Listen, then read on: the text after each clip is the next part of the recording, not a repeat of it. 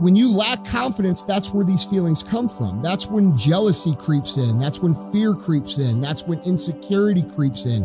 And that affects your anxiety levels and the way you think about yourself and the actions that you take. So, the first step to curing this is understanding that what you put in, you will get out. What you put in, you will get out. Okay? What you put in your body in terms of water, in terms of uh, healthy food, in terms of movement, in terms of positive uh, mental stimulation in the form of reading.